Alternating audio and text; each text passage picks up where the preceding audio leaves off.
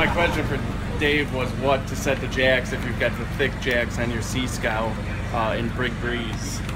Yeah, and my answer was with the thicker jack stays, you can be a little bit looser, but the way that you know if you've gone too loose is if you're sailing upwind and it's heavy and you see the mast give a little pulse, then your jacks are too loose and you're starting to go over center on the jacks, so you need to tighten them up.